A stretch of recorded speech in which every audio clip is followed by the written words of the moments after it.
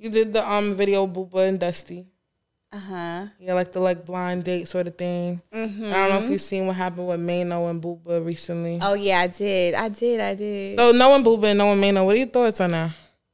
I feel okay. This is how I look. when I looked at it, I felt like I don't think Maino knows that like he's like a Play viral like, YouTube kid that plays like that. So Mm-hmm. he probably really thought that he was testing him. But I also felt like Buba probably.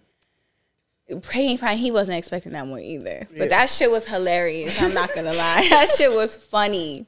But I feel like he's used to that. He's used to people choking I him think, up. I think, uh, yeah, I think he's pretty used to that. But do you feel like, um, do you feel like in doing pranks and stuff like that, do you want to do that more, or are you good off pranks, or they got to know their limits, or like, what do you think about pranks overall?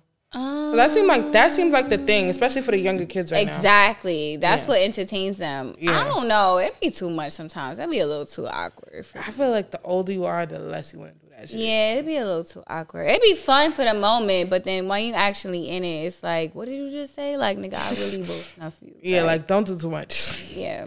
But um, yes, that's kind of like the thing kids are engaging with now. But like, so do you feel like you have a younger audience or like an older audience, or like in the middle? I think you have like a teen kind of. Yeah, I feel like young, I but you feel know like yeah, I feel like I got a good audience. Like I feel like a a girl that's like a boss bitch could Mm-hmm. fuck with my music, and I also feel like I got a sixteen or eighteen year old that Mm. could definitely feel the same.